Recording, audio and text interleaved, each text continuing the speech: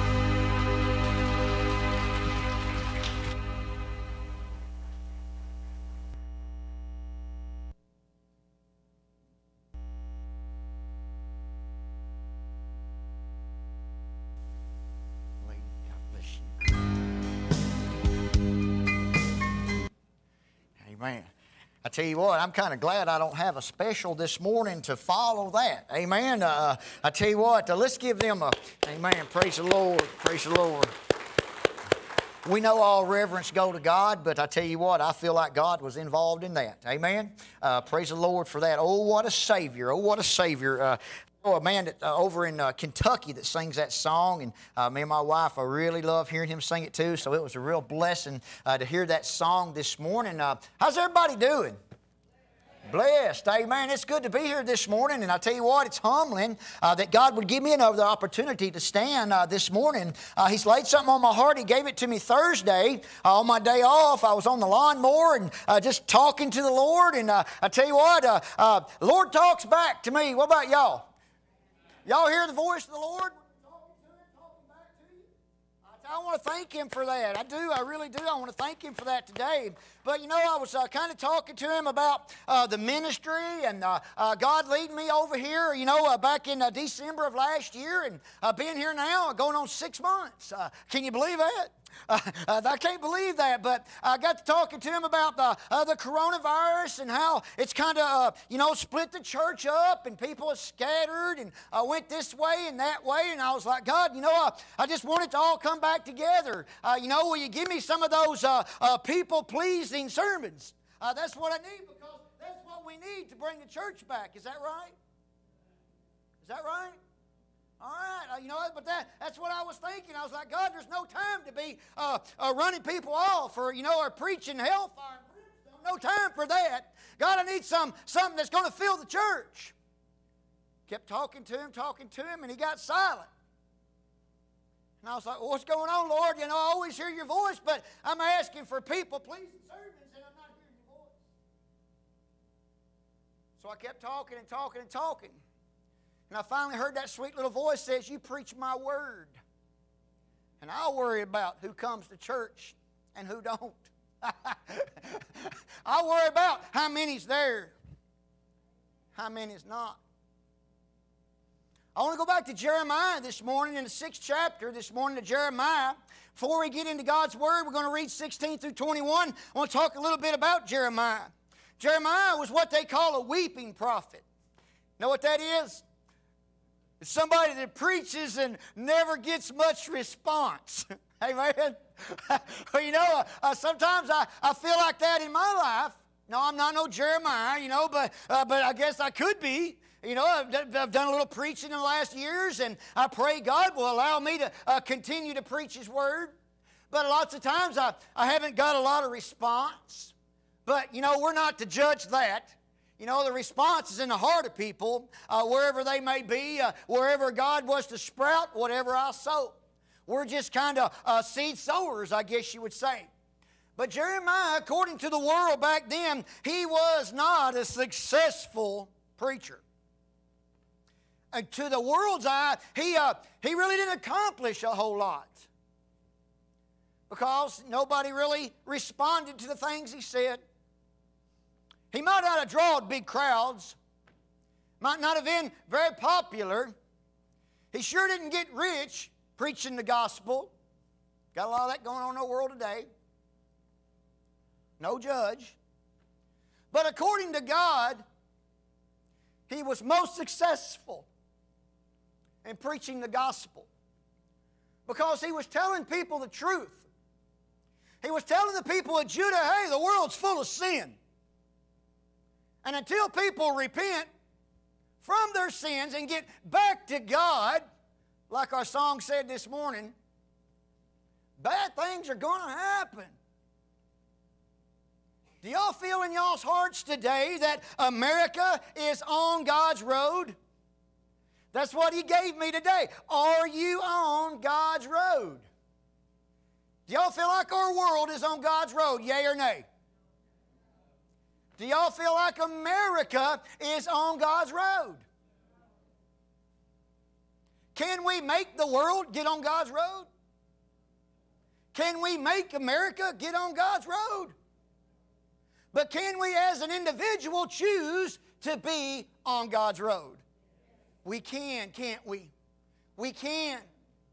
You know, the Bible teaches that we got to be in this world, but we don't have to be a part of it. It's like that. Uh, my wife kind of uh, told me what that little lizard was. A chameleon, is that it? Uh, we talked about that last Sunday night a little bit. A, a chameleon, you know, whatever it's on, in a little time, it'll look just like it. If you put it on that leaf, it'll look like that leaf. If you put it on that ground, give it a minute or two, it'll look like that ground. And the church itself is starting to look just like the world. Well, that's what everybody else is doing. It must be okay. Well, they voted that law in, so that must be all right to do. Y'all, we live in a world of sin. We live in a world of things that are going wrong. We live in a world of where everything is going against God. But instead of standing up for what is right, we're starting to blend in with all of it and say, well, okay, it's the norm. But are that what we do as God's children? Jeremiah said, no. They listen or if they don't, I'm going to preach what God has on my heart.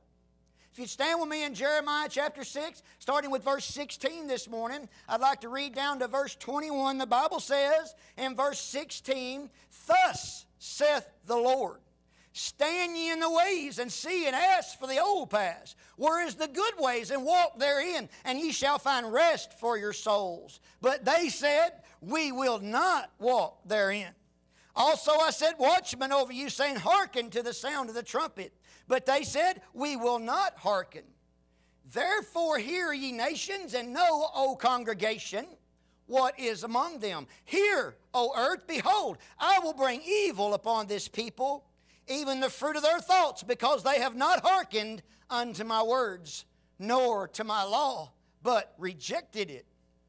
To what purpose cometh there to me incense from Sheba and the sweet cane from a far country? Your burnt offerings are not acceptable, nor your sacrifices sweet unto me. Therefore saith the Lord, Behold, I will lay stumbling blocks before this people and the fathers and the sons together shall fall upon them, and the neighbor and his friend shall perish. Let us pray.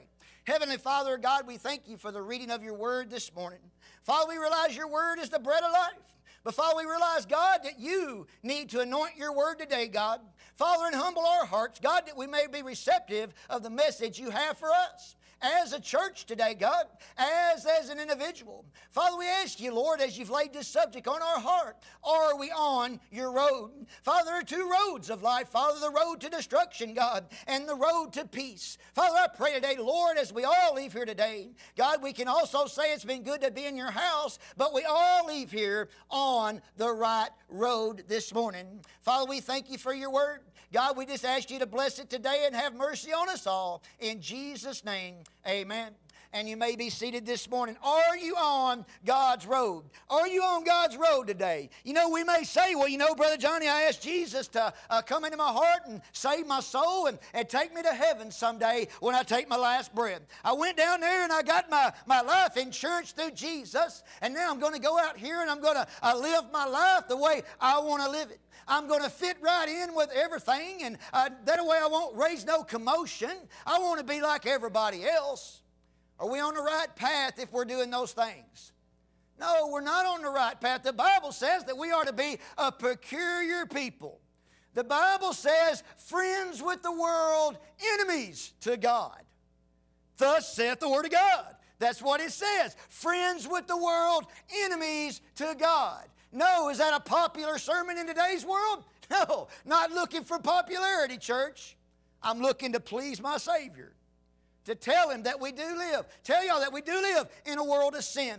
You know, what is the world's way, the world's road?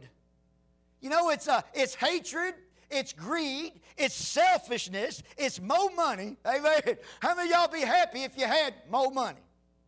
More money makes everybody happy bigger my bank account, the happier I am. Man, yeah, I'll tell you something. If I won the lottery, I'd probably be in a good mood. I really would. Yeah, I'm not going to lie to you. Most of us would. Praise the Lord. I, I won the lottery. Then when I realized I had to give most of it back to God, I still better be happy, right? Are you on God's road? The world's road is uh, selfishness, like I said, and greed and hatred, and people running over each other all the time, just trying to beat each other up, trying to get ahead. But what is God's road? God's road is love and joy and peace, contentment, forgiveness, friends, family, church, caring more about somebody else than we do ourselves. Well, there's not a lot of that in our world today, is it? It's I'm going to beat you up, I'm going to take you out. No matter what I got to do to get ahead, I'm going to do it. That's the world we live in. That's the, that's the road that the world has out for us.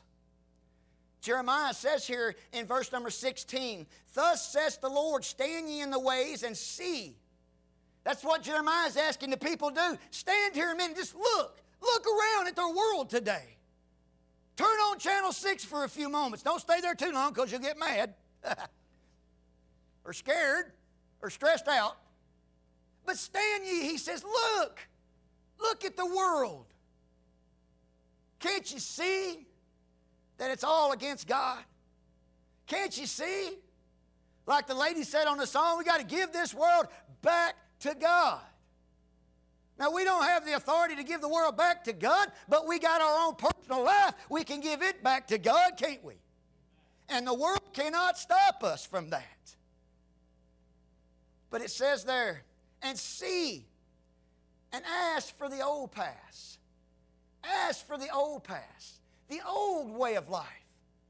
You know, me and my wife, I got off yesterday about 1 o'clock and I was tired. And, you know, we knew we had a big day today. And I come home and, I, you know, I told him at work, I said, I'm going home today, putting on something comfy. I'm getting in my recliner and I ain't moving. And let me tell you something, I did that too. I did that too. Found a couple of shows there we watched. And let me tell you something, if it's not, uh, if it's not killing, you know, if it's not cussing, if it's not sex, if it's not all this stuff on TV, it's not a very popular show. It's not a very popular show. And that's what you mostly find. Not much more Little House on the Prairie and, and Walton's Mountain, praise the Lord.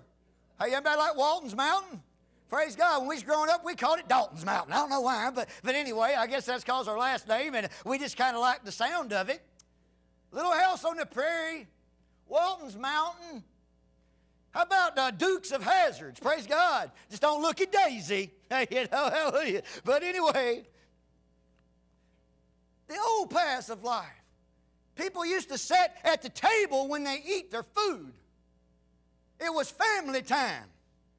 Praise God. I don't know about y'all, but I'm as guilty as all get out. Get your food and go wherever. Anybody in here do that? You ain't got to say amen. I'm not trying to set nobody out. But what about those things? What about family prayer? Do we have that anymore? Prayer in school. Some of them are trying to get back to that. The world is going against God, but we don't have to go with it.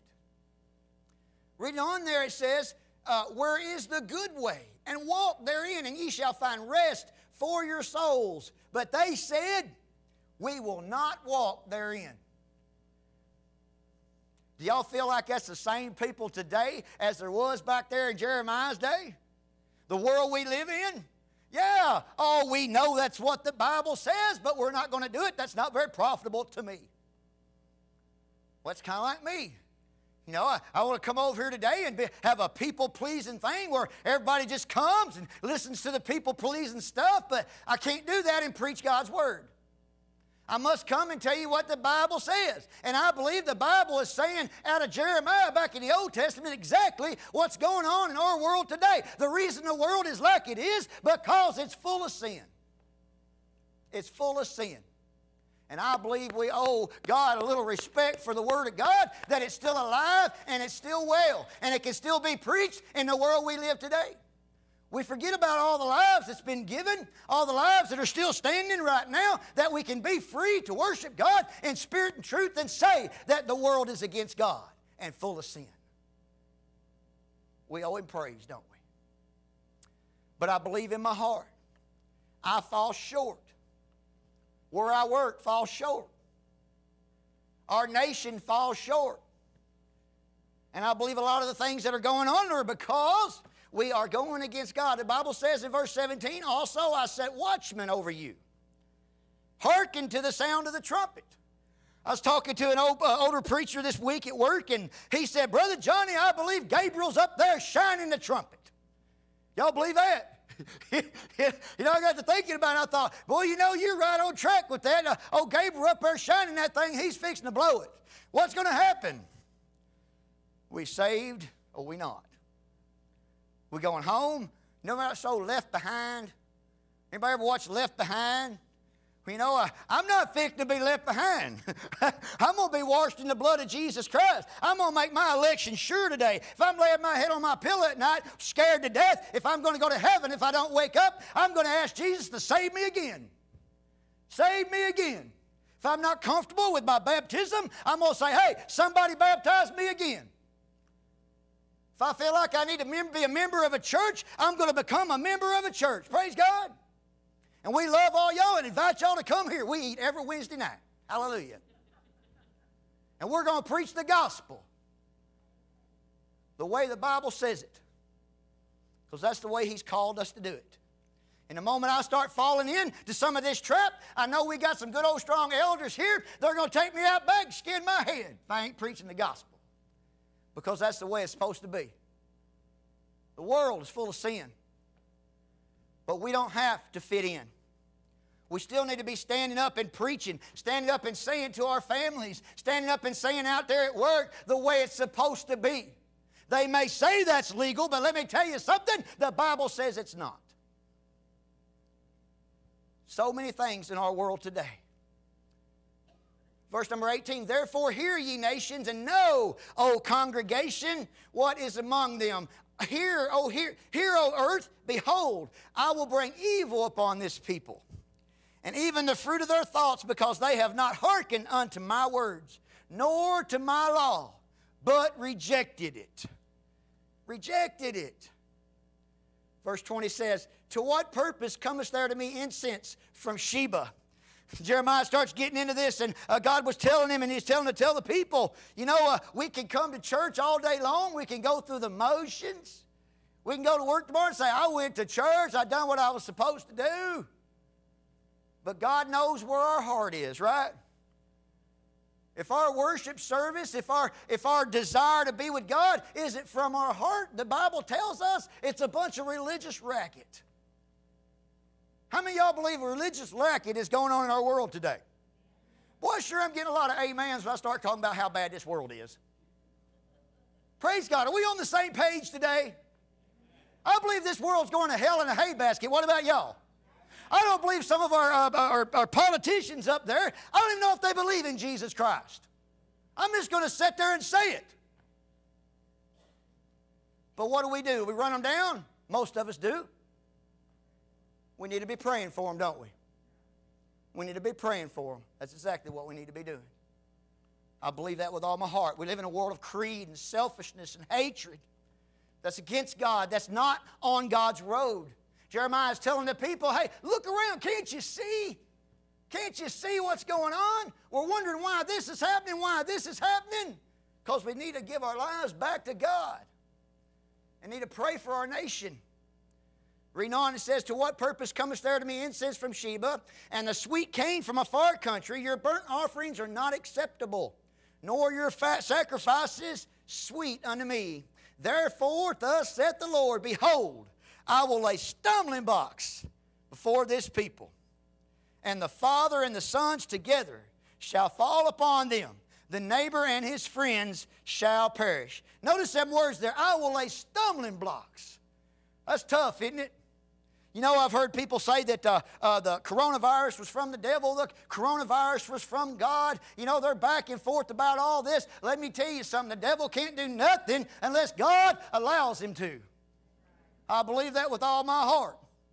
And I believe with a little bit of my heart there that God could have used that to throw a stumbling block to the church to see, to see how strong we are. And I want to wave at everybody in here, and I want you to do it today because we need each other. We need each other's strength, don't we? This is a test for God's people. But as I look around today, I know I'm not the one to say, but praise God, we're here. Maybe we're passing the test. Amen. Stumbling blocks. I believe that. It's my desire today. It's my desire today to know God better. What about y'all? It's my desire today, seeing the world the way it is, that I may get to know and have a little more knowledge of my Lord and Savior, Jesus Christ. You know, because I don't believe this old world's got it right. I believe this old world's going in the opposite direction. I believe it's on the world's road. And I want to get back on God's road, don't you? I got a grandbaby coming. And I, To be God's road. You know, I know I'm young. I'm, I'm 48. I, am young compared to some, you know. But think about it. I got a lot of life to live. I want to live it for God. You know, some of my family already know me and they know my past, know how mean I've been. I got a brand new grandbaby coming. She won't know nothing about those things. Praise God, I can start right now. She'll only know what she knows. So I can leave a godly legacy for her. The rest of the family may say, he used to be meaner than a snake. And I did. My wife says I still am. Amen. Brother, I'm just hanging in there. Amen. I, I am in defense, they say. Amen. Praise the Lord. Trying to defend myself. Are you on God's road today? Friends with the world is enemies to God. Are you friends with this old world? Do you like the things that are, you see on TV?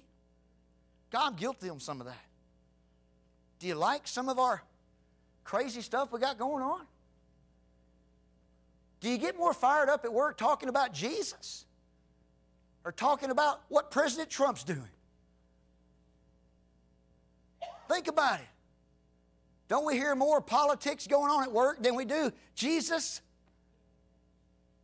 Golly, Bill. Don't we hear more politics on TV, of the media, than we do Jesus? Isn't it all about Jesus? Therefore, thus saith the Lord, Behold, I will lay stumbling blocks before this people. I believe this same message that Jeremiah was preaching back many years ago uh, stands strong today. I believe the world itself needs to get back on God's road. And it was kind of ironic that y'all played that song, Give the World Back to God. We can't make the world go back to God. I can't make the nation go back to God. But I can be sure I'm on the right road today. I can be sure I'm leading my family in the right direction. I can be sure that I'm up here trying to preach what the Bible says to preach. That there's a hell and there's a heaven. And if you're sitting there today, you should know where you're going to spend eternity. I'm thankful today to know that I got Jesus in my heart. No matter what happens in this world, brother and sister, it ain't going to affect my eternity. You know, my eternity is going to be the same. I'm going to go up there and it's all going to be good. No pain, no suffering, no sorrow, no death. Amen. Ain't going to be nobody greedy, nobody selfish, nobody thinking they're better than me. I ain't going to be trying to have the nicest truck in the neighborhood like I do now, you know. Praise God. I'm not going to be sitting down here thinking my John Deere tractor is better than Brother Kenneth's, amen, you know, because his is orange. All this stuff ain't going to matter. Only thing's to matter that we made it to heaven. you know, that's the only thing that's going to matter. And we're going to be praising God for that. Because I don't believe, I believe we're going to know we're there. Because we're going to be praising our Savior, Jesus Christ. Y'all, we need to wake up. And we need to realize the devil is good at what he does. And he's building a world. And he's sucking God's people into it. Starting to fit right in. Jeremiah says, out of context, you know, I don't believe y'all are right with God. And I believe that's what's wrong with the world. But I stand before you today And I say, I don't believe the world is right with God. And I believe a lot of the things that are wrong because we are rejecting God's laws. I'm not no expert. I'm not no doctor. I sure ain't, praise God. I'm just a redneck that knows what's right and wrong in my heart. You know? I know it's wrong to be greedy. I know it's wrong to uh, take from others. I know it's wrong to, uh, to be selfish. I know it's wrong to be prideful. I know I'm a man. All these things are against God's laws. We want to make them right. You can't make them right. We got to go with God's laws. Are you on God's road today? If you turn to Hebrews 4, Hebrews 4, chapter 14, I'd like to turn over there for just a few moments. Hebrews 4, chapter 14. Are you on God's road this morning? You know, uh, think about that for a moment to let that kind of cipher in your spirit. Uh, you say, Well, I'm at church. I'm on God's road. Praise the Lord. You know, hey, that's a start, isn't it? that's a start. It sure is. It sure is. And I'm thankful that y'all are all here today. I'm thankful God allowed me to get here. Somebody said this morning, I'm just thankful God allowed me to be able to be here today. Isn't that something?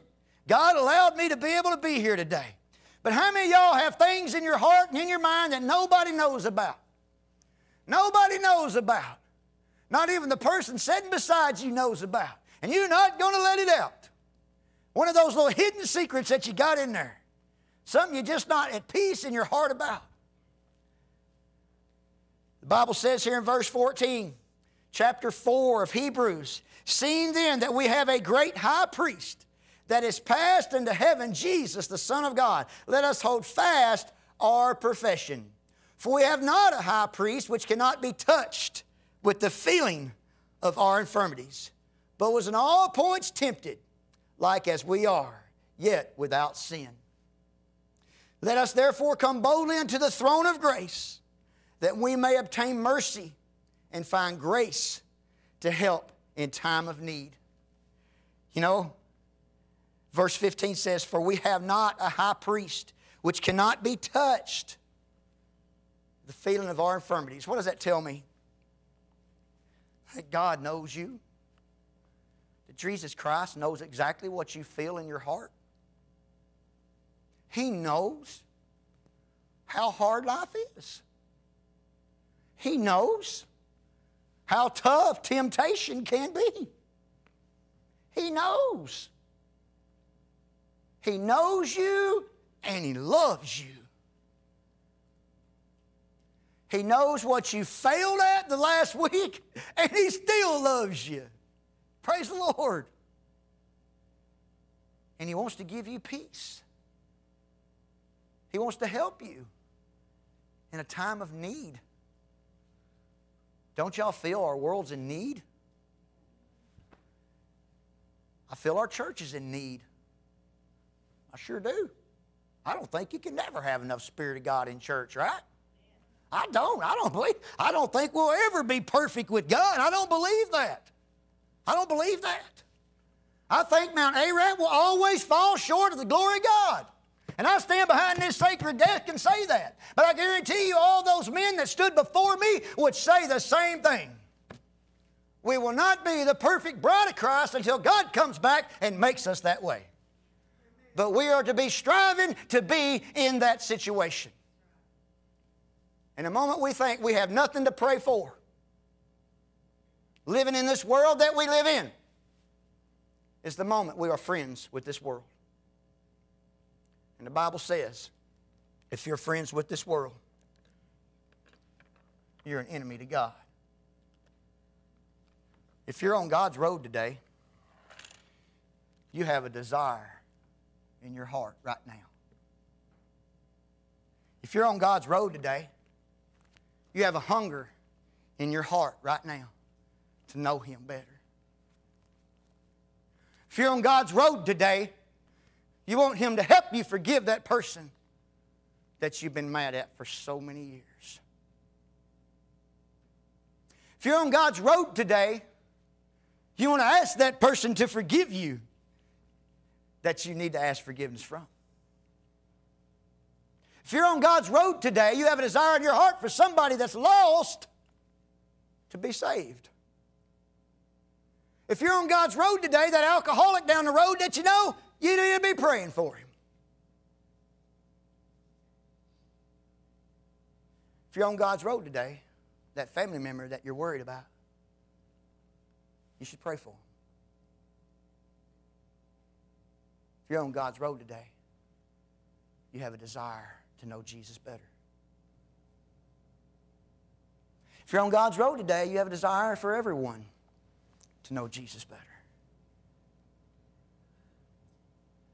If you're on God's road today, you have a desire to be a better follower of Jesus Christ.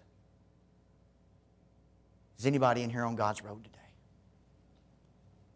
If you're on God's road today, you haven't given up on praying for our nation. If you're on God's road today, if you're on God's road today, are you on God's road today? Don't let the world fool you. Jeremiah said the world is against God. But he stayed on God's road. Regardless, he stayed there. Where are you at this morning? Are you on God's road? Do you have something you need to talk to him about today? I remember praying many times in my life, and I probably still will. God, replant that desire in my heart want to know you more. God, replant that desire in my heart. Talk about you more. God, replant that desire in my heart to read your word. God, replant that desire in my heart to learn a brand new song. God, replant that desire in my heart to come to church. God, replant that desire in my heart to sell somebody I love. I love them. God, replant that desire in my heart to go around in a lost and dying world and talk about Jesus Christ and how He saved your soul, forgiven you your sins,